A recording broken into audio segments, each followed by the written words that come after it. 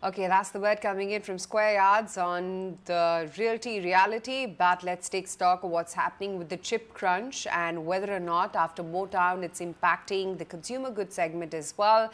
What are the demand trends ahead of this festive season? What's the growth that is likely? And uh, will the chip shortage really hamper some of the consumer goods as well? Let's uh, take stock with Nilesh Gupta, the MD at Vijay Sales. We also have with us Kamal Nandi, Business Head and Executive Vice President at Godrej Appliances and President at CEAMA, joining in on the show right now. Gentlemen, hi, good morning. Good to have you both on the show. Nilesh, if I could start the discussion with you. Uh, help us understand how the region-specific festivals of Onam and Ganesh Chaturthi were ahead of the big national festivals, Dussehra, Diwali, etc. And what's the kind of demand that you saw? basically, uh, good morning, everybody. Basically, Onam seems to be have been very good, and uh, Ganesh Chaturthi traditionally uh, for the last three four years doesn't uh, make a very big insight into uh, all the products, but still the demand increased. So I think uh, looking back. Uh, this season, we are expecting uh, quite good demand, maybe one of the best in the last three, four years.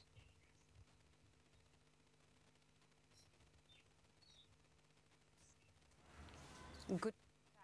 Um, Kamal, are you as well anticipating a big festive upcoming season? That's Dussehra Diwali. And do you expect a significant turnaround and bump up in sales?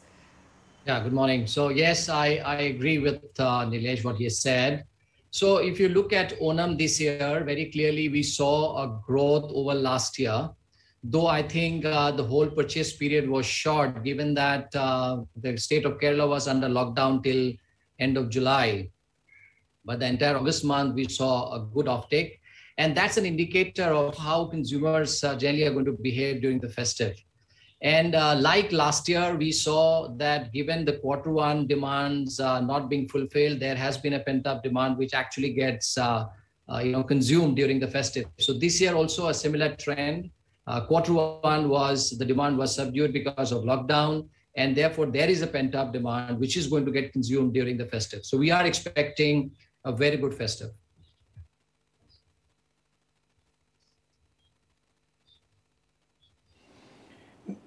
Nilesh bhai, good morning. Nikunj also joining in. Excuse me.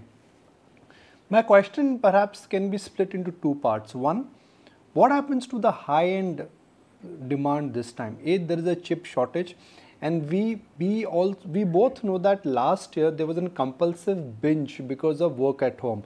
So suddenly because you're working from home, you bought an extra laptop, you bought an extra phone, you perhaps bought an extra tablet. Uh, so do you think that end of the spectrum, which could be called as the high-end uh, consumer durable market, may take a hit because demand may not be strong and whatever demand is there, then you got a chip shortage issue? Good morning, Nikunj. In fact, on the contrary, what we are seeing is the high end is in, improving and growing at a faster rate than the average also. For the simple reason is, last year when the people bought for work from home a laptop or a television, uh, or a mobile. They basically never realized that the work from home and learn from home is going to continue and is going to be endless. Even now, we don't know whether schools will start in the next three months or six months or maybe a little more. So what has happened is all the people who bought last time, at that time they thought okay, we don't we won't need the laptop for long, so let's buy an entry level laptop. Now all those people, most of them have come back and uh, said they want to upgrade it to the best because this is now going to be their life. So on the high on the up, upgrade segment, I think there's a huge activity which is happening in the market, and this COVID has actually got a cultural shift. In fact, a structural shift, I would say, uh, in the industry because now everybody was uh, locked up in the house and due to which uh, i think apart from the family the only products which they were uh, dealing with daily and which was helping them to uh, live were the consumer durables. So now where what happens is when a refrigerator is to be uh, changed earlier it was used to be only the lady of the house who used to decide or who used to be interested in doing all everything. Today the entire house comes together and says let's buy the best let's buy the biggest whether it's a refrigerator whether it's a washing machine whether it's a television. So i think on the premium segment uh, we are seeing a lot of action happening on your second part of chip shortage, yes, there is a shortage and the stocks are also trickling in. But the best part is we have a lot of manufacturers. So it's not, it's not the case where we don't have a particular segment in stock at all. Yes, if a customer wants a particular model or of a particular brand, that at times may not be there and it, he may have to wait. But if he's open to change of the brand and the model, I think there is no problem. We'll be able to tide away this crisis also.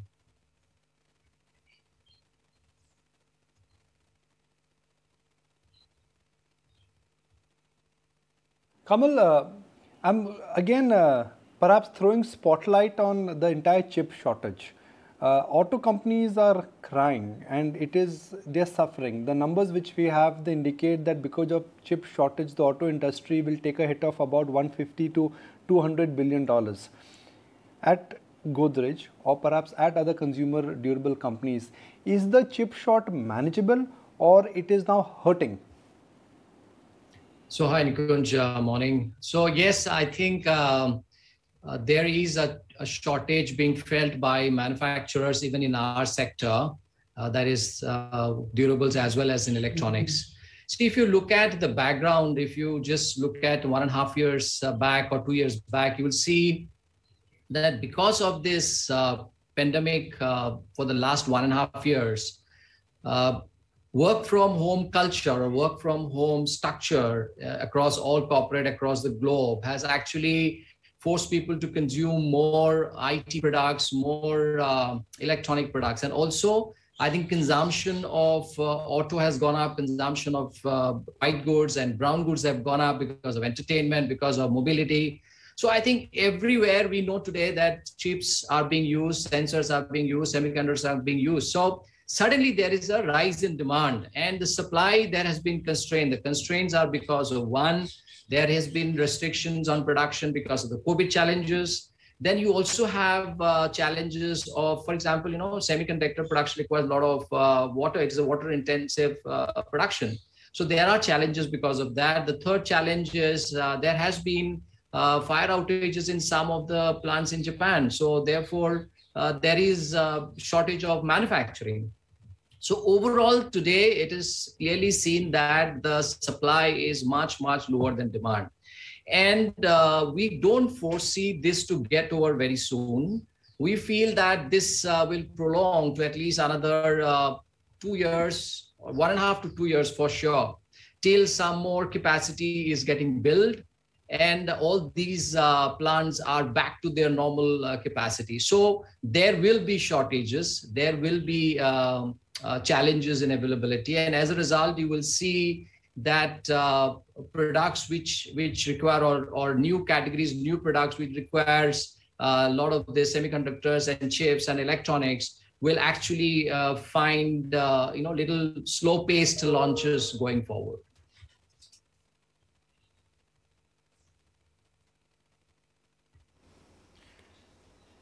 So Nilesh, we've talked about uh, the chip shortage last uh, year. You guys had to deal with, uh, you know, shipments uh, not coming in from China.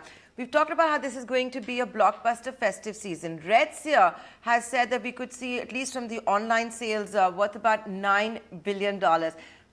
How are you going to compete this year with uh, the sales that are being offered by, let's say, an Amazon or a Flipkart? Are you going to be as competitive? You did do that last year. So I think that's not a worry anymore uh, because uh, yes, they do get competitive on those big days. But at the end of the day, there is the consumer who only comes offline. There is a consumer who goes only online, and there's a and there is a majority of the consumer who toggles between the two. So I think uh, what all the online players are doing, yes, at times they do hurt us, but overall, if you see in a nutshell, they are always helping us to increase the market pie and that helps us a lot. So I think it's not a great worry at all. Overall, yes, we are able to match it. Only problem comes when they are uh, giving exclusive models uh, where they have a lead for uh, say a week uh, when uh, the brands give them exclusive model to launch. I think that's the only period which is a worry. Otherwise, I think it's totally manageable.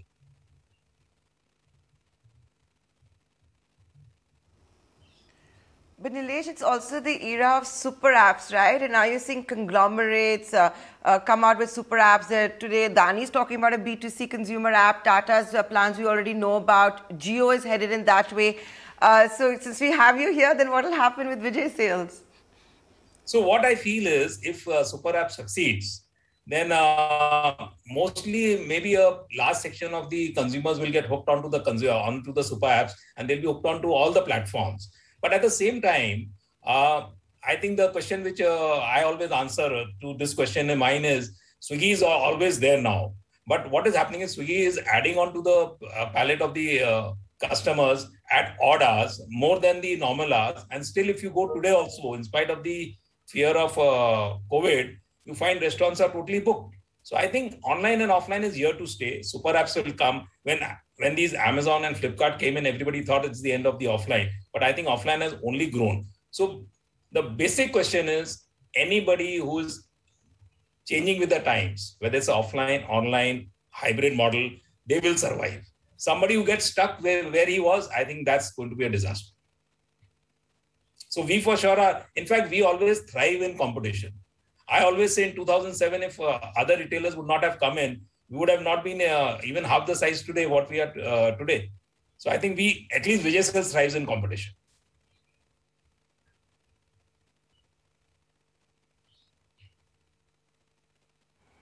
happens in the era of uh, super apps. Uh, my final question, and I'll give this one to Mr. Nandi. Mr. Nandi, you know, we've covered a lot of the issues that are being faced ahead of the festive season. Uh, the big one is that uh, there will obviously be no price hikes, I would imagine, going into the festive season. But does that mean that, you know, soon after Diwali, etc., consumer uh, durable companies, companies like yourselves, will have no choice but to pass on then the high, higher uh, material cost to consumers?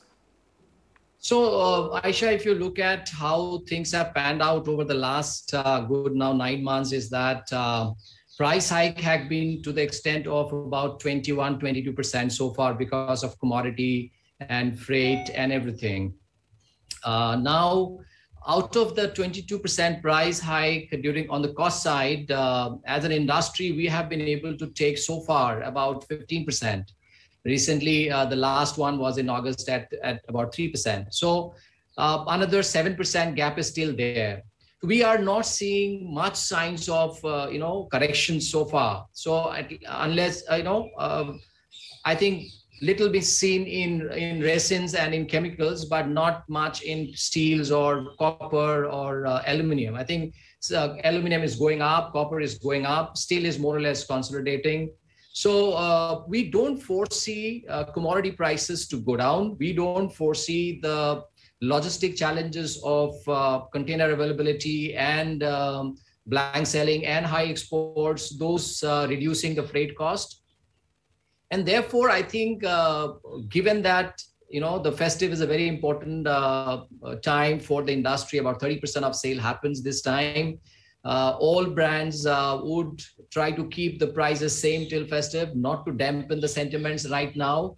Uh, and after the festive given how the commodity behaves if it starts showing a decline or correction then we may not go in for any further hike. But if it does not then definitely there is a price hike post festive expected.